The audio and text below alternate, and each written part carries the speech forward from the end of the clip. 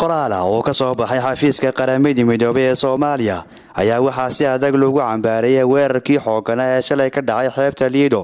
gaar ahaan hoteelka ilid ee magaalada muqdisho. Qoraalka ayaa waxaa lagu sheegay in qaramada midoobay aada uga xun tahay weerarkaasi. Oo ay ku dhinteen dad badan oo isugu jira shacab iyo sidoo kale mas'uuliyiin qaramada midoobey ayaa tacsi u dirtay qoysaskii iyo sidoo kale eheladii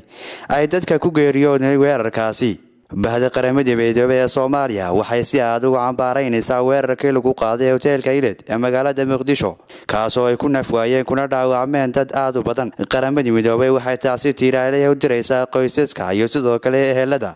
Dadka dhibaatada soo gaartay ayaa lagu yidhi qoraalka dhanka kale dowladda turkiga ayaa iyadu ka hadashay weerarkani iyadoo si kululu cambaaraysay kadib war-saxaafadeed ka soo baxay wasaaradda arrimaha dibadda ee dalkaasi